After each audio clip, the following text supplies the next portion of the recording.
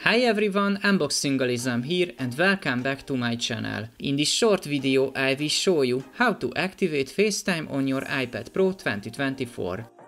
Let's start it. Open the settings app on your iPad. Scroll down and look for FaceTime. Tap on FaceTime to open its settings. Toggle the switch to turn on FaceTime. Now let's make sure your phone number or Apple ID are correctly set up for FaceTime. Here you should see you can be reached by FaceTime at section.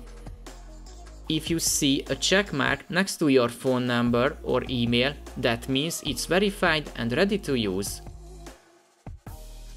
That's it, we are done. At the end of my video, let me ask you a small favor. As you can see, most of my viewers are not subscribed. If you find my video helpful, please take a second to give a like and click on the subscribe button to help my videos reach more people. Thank you and see you in the next one.